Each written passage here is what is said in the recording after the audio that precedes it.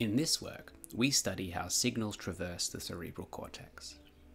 We think of the cortex of the human brain as comprising multiple discrete regions that each play a role in processing information and enabling us to make decisions.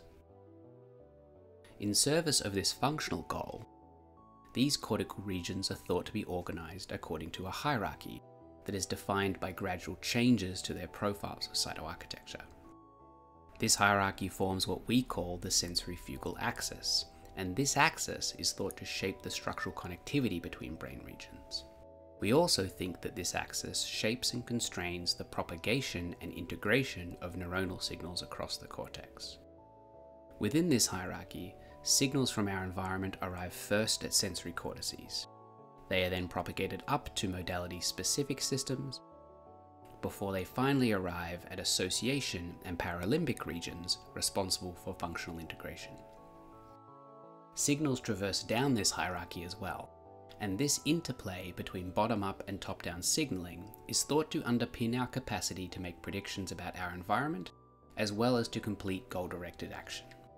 As mentioned earlier, this hierarchy is thought to govern the complex pattern of structural connections that course throughout the brain. So in this work, we sought to examine whether cytoarchitecture explained differences in how signals propagate up and down this hierarchy when traveling along those structural connections. To achieve this, we utilize a model of signal propagation in the brain that relies on a network representation. In this network, cortical regions are represented as nodes, and the structural connections between those nodes are represented as edges. Within this network representation, we can think of the brain's activity as moving through a series of states over time, where a state is simply a specific pattern of activity at each node. All of the possible brain states within this networked system can be represented as a manifold in an n-dimensional space. For simplicity, here we represent this state space in three dimensions only. In this context, a specific brain state is a point on this manifold. For example, the brain state we're showing currently might fall here on our manifold. As such, by moving through different points on our state space manifold, we sample different activity patterns for our network. Additionally, using a framework called network control theory, we can sample a pair of points from this manifold and ask whether we can control the brain to transition between the associated states. We do this by modeling the control inputs that need to be delivered to the nodes of the network to drive the brain through the state space from an initial to a target state. We then summarize this information into a single metric we call energy. This energy simply quantifies the amount of effort the model had to go to in order to complete that state transition. Here, we use this approach to estimate the energy associated with state transitions that move up and down the cortical hierarchy of cytoarchitecture, and then we examine whether energy differs between those bottom-up and top-down state transitions. For example, assuming that our blue brain state is low on the hierarchy and our yellow brain state is high on the hierarchy, we can estimate the energy associated with transitioning between these states in both directions, one running bottom up from blue to yellow, and the other running top down from yellow back to blue.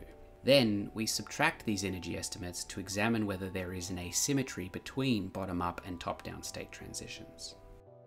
When we applied this approach to many state transitions sampled from our manifold, we found that bottom-up state transitions had lower energy compared to their top-down counterparts.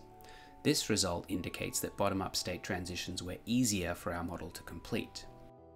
Furthermore, we observed that as the distance separating brain states along the hierarchy grew larger, the energy asymmetries became more negative. This indicates that bottom-up transitions had lower energy with greater distance between brain states along the hierarchy. This tells us that not only were bottom-up state transitions easier to complete compared to top-down, but also that these asymmetries were largest when brain states' profiles of cytoarchitecture were maximally different. We also found that as these energy asymmetries became more negative, the intrinsic neuronal timescales of the target state became longer relative to the initial state.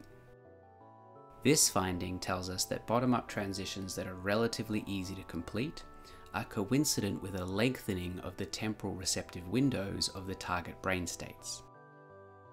Lastly, when examining developmental effects, we found that both bottom up and top down energy reduced throughout youth.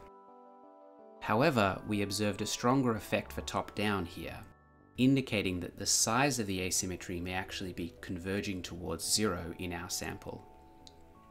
In turn, this tells us that during development, the connectome may actually be refining towards a balance between bottom up and top down signal propagation. Collectively, these results tell us that the topology of the structural connectome may be wired to enable efficient bottom-up signal propagation across the cortical hierarchy of cytoarchitecture, and that this characteristic of the connectome links to changes in intrinsic neuronal timescales across the hierarchy and varies systematically throughout youth.